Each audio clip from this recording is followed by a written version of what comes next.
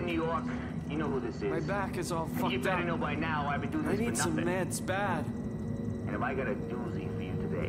Once upon a time, your Uncle Rick told you a story about how green poison got made in the lab. How some government freak cooked it up for whatever reason, and it got loose or got turned loose. And you all laughed and called me a conspiracy nut, which, to be fair, I kind of am. But that ain't the point.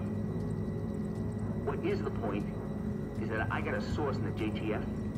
And he told me they're going balls to the wall looking for some Russian scientist named Tchernenko. Now, why would they be doing that, you ask? Well, it turns out, if you look this guy up, he was a world leader in genetic manipulation of viruses and crap. And he's Russian. And he was in New York when all the shit went down. What does it mean? I'm not saying nothing. Something's I'm just wrong saying with that me. where I sit, I think I can need a doctor. picture, and it's not a pretty one. This cat is on the loose in the city, we could be in for a rough ride. But Rick, I'm hearing you say, what if this guy is just an innocent bystander?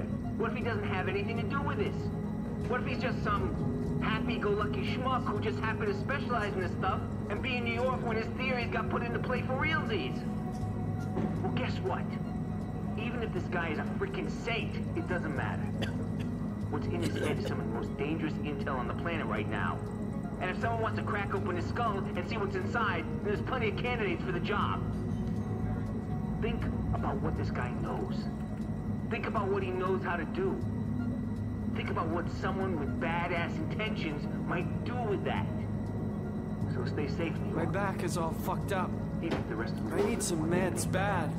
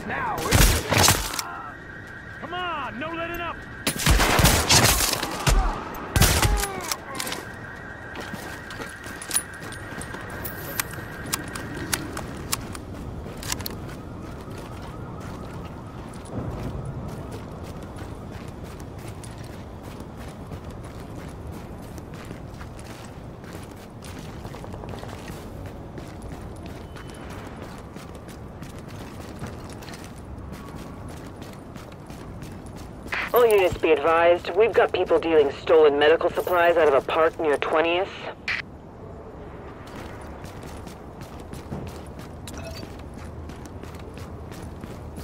Good luck out there. So damn tired.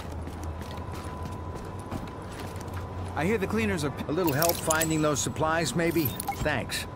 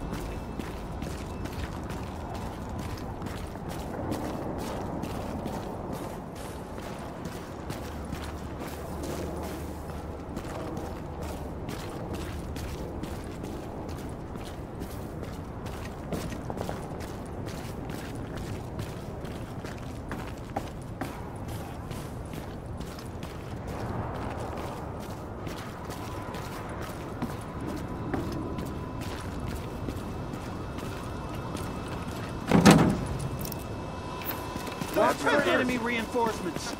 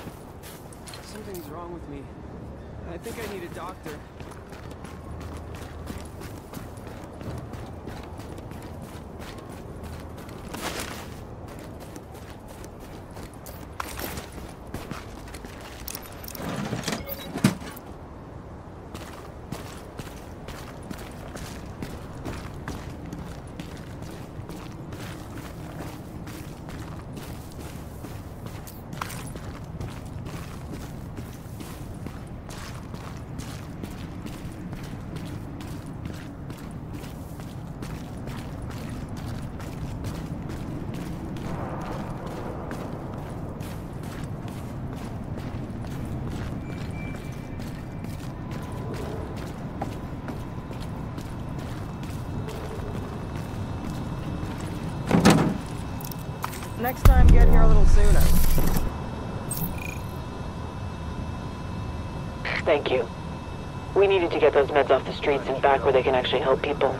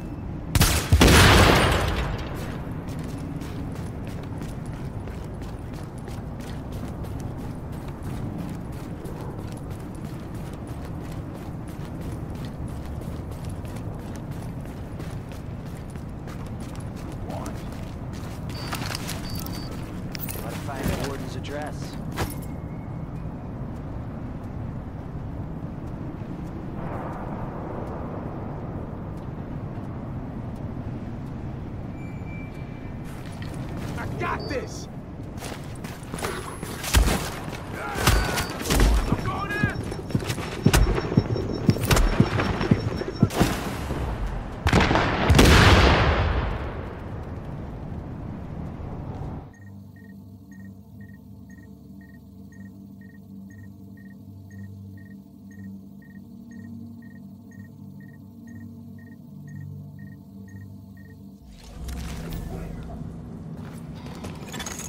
You are now entering a safe area.